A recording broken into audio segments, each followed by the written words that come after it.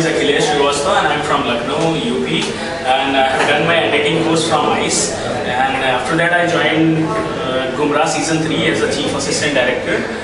And uh, for joining for getting selected in Gumrah uh, ICE helped me a lot. I learned a lot of things in ICE.